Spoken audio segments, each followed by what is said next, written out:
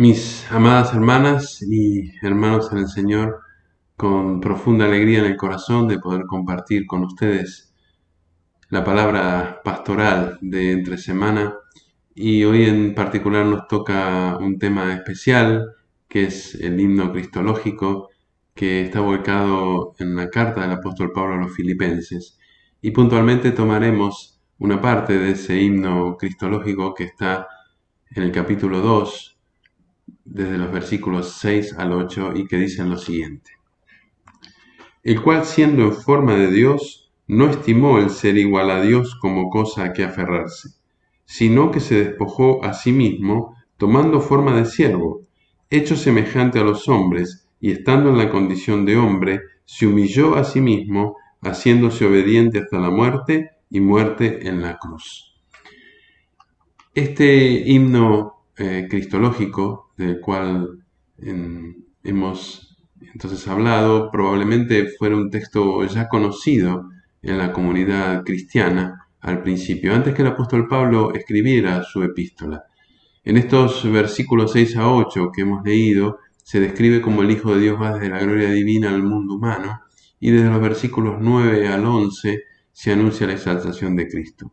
Yo les invito luego eh, si tienen el tiempo y el deseo en casa, a que puedan leerlo completo, mm, quizás también tomando desde el versículo 5 al 11 para poder disfrutarlo. Pero hoy nos detendremos en eh, la parte de cuando Cristo deja la condición eh, divina y entonces se encarna como el Hijo de Dios en la condición humana.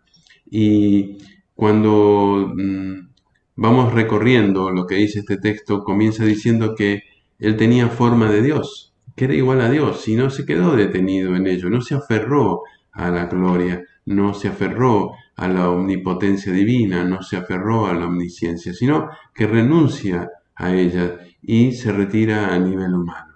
Él se despoja de todos los eh, privilegios divinos y lo resuelve por libre voluntad, por amor, salir de la esfera celestial e ir al ámbito del hombre, entrar en la historia del hombre. Em, es una posición que no es de ninguna manera egoísta, sino todo lo contrario, una posición de amor plena hacia el hombre. Porque dice allí en el texto que hemos leído que toma forma de siervo, forma de esclavo. Y el concepto forma de siervo se, se opone totalmente al concepto forma de Dios en el comienzo del texto. Sabemos cómo él vivió vivió de una manera totalmente simple, con limitaciones, a tal punto que sabemos que nace en un pesebre, eh, su crecimiento es en un pueblo, su, el desarrollo de su vida no, siempre fue, entre comillas, desconocido, pero porque vino para servir. Y entonces eh, él fue hecho semejante a los hombres. Y quizás podríamos preguntarnos aquí, ¿por qué Dios entonces se encarna en Cristo y transita sobre esta tierra, ¿cuál es el sentido?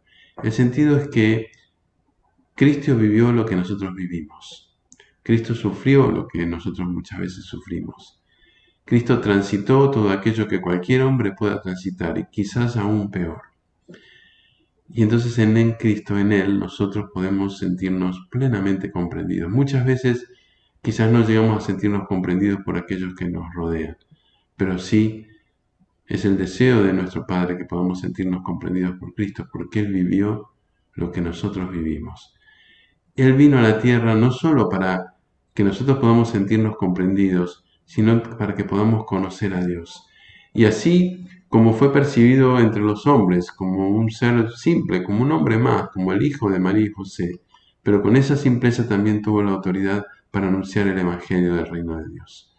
Él vivió en una verdadera condición humana.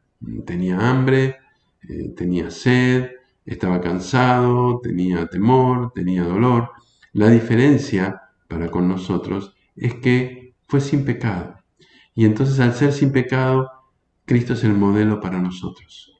Es el modelo que nosotros queremos tomar en nuestro hablar. Es el modelo que nosotros queremos tomar en nuestro obrar. Qué hermoso que nos preguntáramos en cada momento, en nuestro hablar o en nuestro obrar, ¿Lo haría así Cristo? Podemos tomar ejemplo de él. ¿Cómo tomaba sus decisiones? Él siempre se orientó en sus decisiones a la voluntad de Dios. Siempre buscó cumplir la voluntad de Dios. Qué hermoso si nosotros podemos buscar siempre cumplir la voluntad de Dios.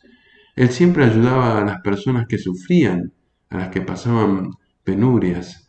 Em, un simple ejemplo es cuando resucita el hijo de la viuda de Naín, la compasión que siente por esta mujer, cómo busca ayudarla.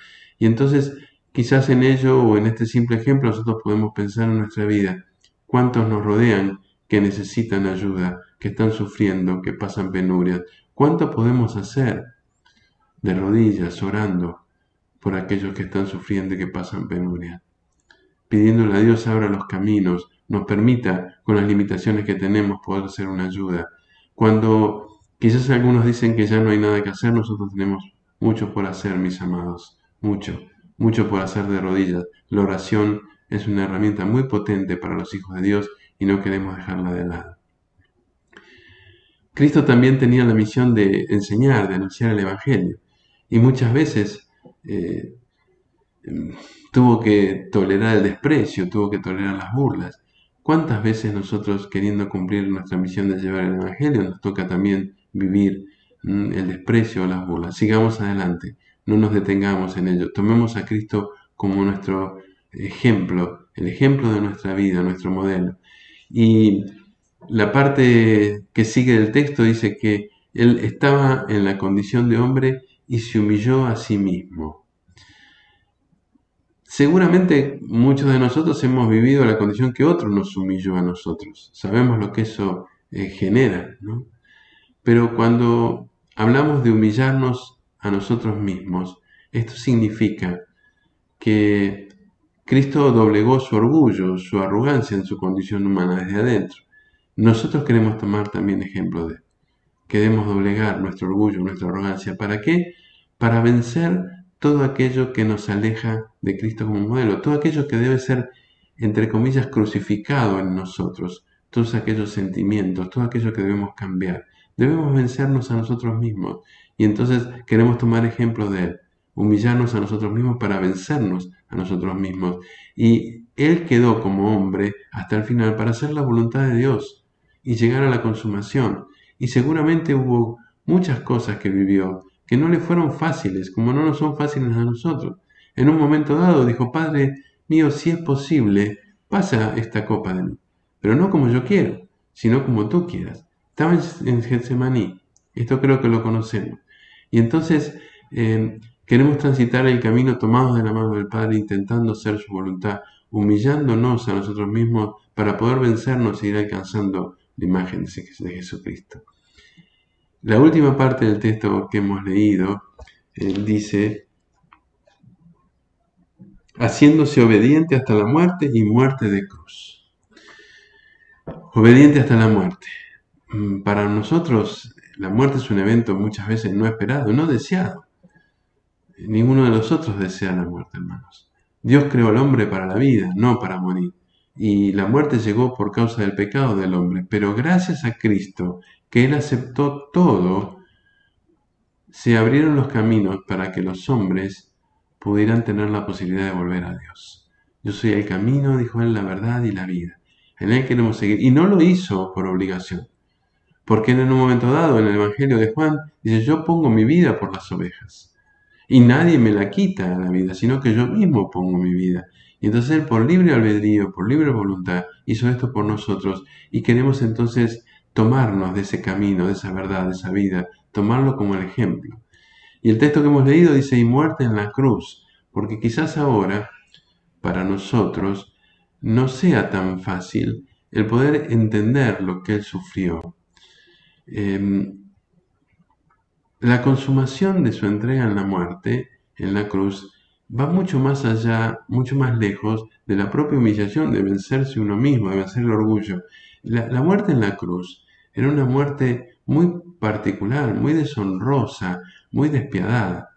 Eh, y entonces em, uno podría preguntarse, ¿por qué Dios permitió esto en Cristo? Es el deseo de nuestro Padre que el sufrimiento y la muerte de Cristo podamos reconocerlo como la expresión de solidaridad de Dios para con todos aquellos que sufren, todos aquellos que están por morir. Que podamos sentirnos comprendidos, amados, conocidos por nuestro Padre. Él quiere ayudarnos, quiere ayudarnos a transitar este camino y alcanzar la meta que nos ha prometido. A través de Él nosotros recibimos redención y vida, pero tenemos que tomarnos de su mano. Dios el Hijo adoptó la condición de hombre para redimirnos.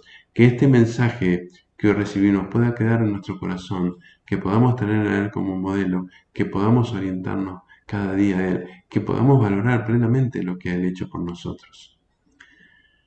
Es una profunda alegría el poder compartir estas reflexiones junto a ustedes, el deseo que puedan sentir desde el corazón y junto a los apóstoles y los obispos nuestro saludo mm, y deseo de bendición para vuestros caminos y que podamos encontrarnos en cada oración.